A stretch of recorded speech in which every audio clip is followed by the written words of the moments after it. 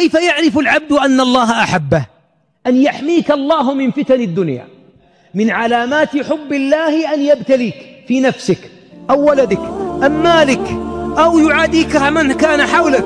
ولذلك في الحديث إذا أحب الله عبدا أصاب منه ابتلاه.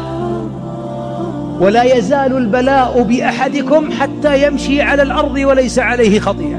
أن ينشر الله لك القبول في الأرض.